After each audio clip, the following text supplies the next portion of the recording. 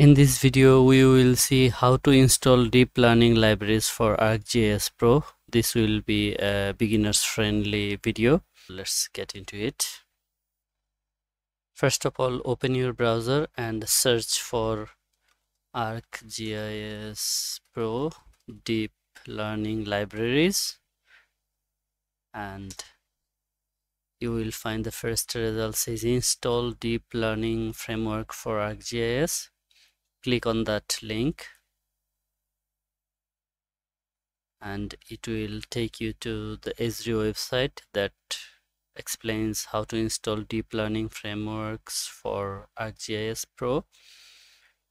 And uh, from this page you will find a link that says deep learning libraries installer. Click on this link and it will open the github repository of Esri where you will see the description of the library and other things. Scroll down and you will find a section called download. Here you will need to find your version of ArcGIS Pro and install that respected library.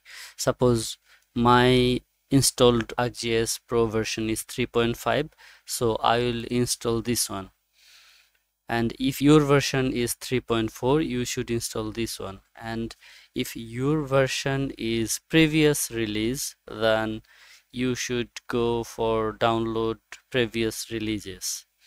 Here you will find the other previous versions of ArcGIS Pro. And those versions deep learning algorithm could be downloaded from here now I'll download the 3.5 version. Now let's click on the link to download. The download is started. Depending on your internet speed it will take some time because the library is pretty big. It's 3.6 GB the file is downloaded. We are in download folder. And since this is a zip file we need to extract this let's extract the file and click on extract.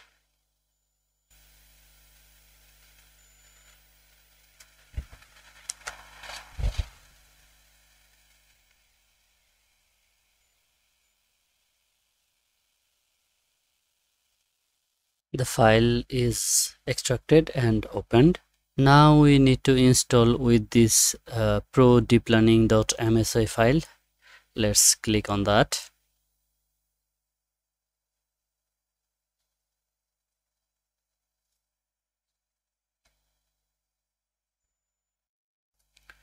Click on the next button.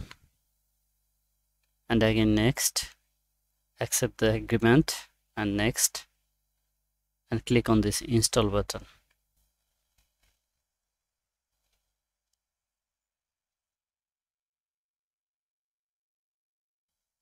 the deep learning libraries has been successfully installed. Uh, now click on the finish button. Now if you open ArcGIS Pro and go to the geoprocessing toolbox and expand image analyst tools and under image analyst tool you will see deep learning. Here are numerous algorithms that now you can use because you have installed all those libraries that is necessary for these algorithms. In future videos we will see how to use deep learning with these tools. Thanks for watching